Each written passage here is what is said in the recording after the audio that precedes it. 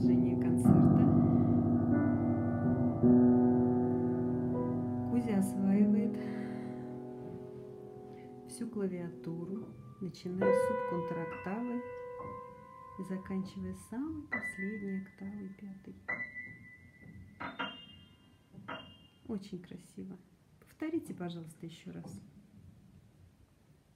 Нет, нужно по ноткам. Сейчас выберу ноты, а потом буду повторять. Да, интересно, что же там такое? Чтобы выбрать вам для выступления.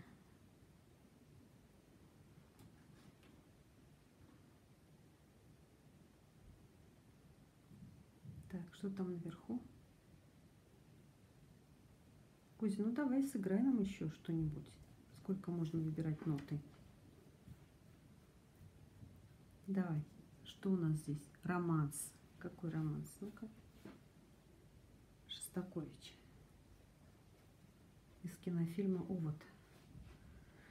Ой, Кузя, ну как, получится? Нет, не знаю. Попробуем сейчас.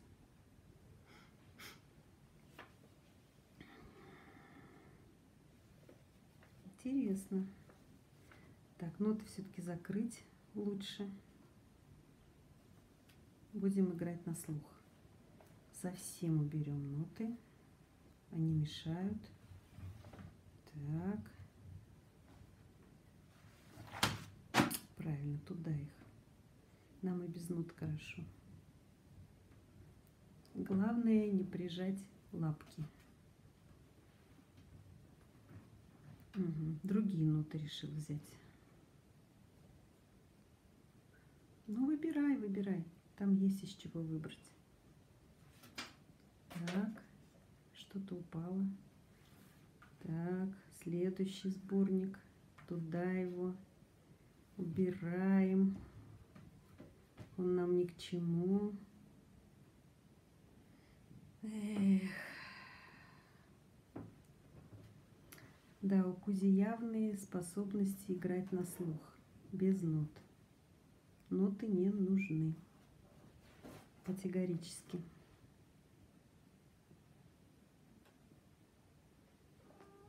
Да, что-то не то.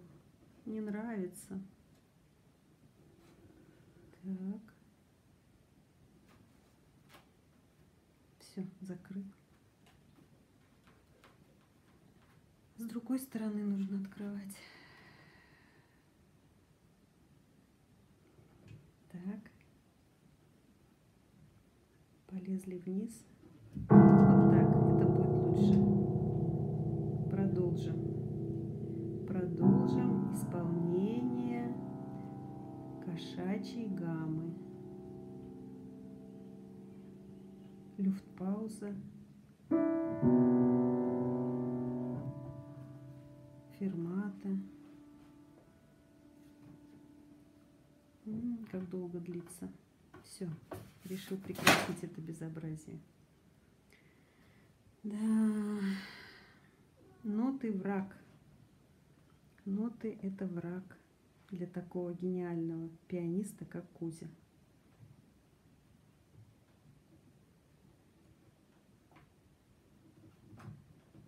Остался последний сборник,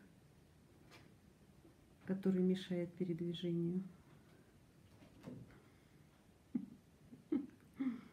Кузя, я думаю, достаточно на сегодня.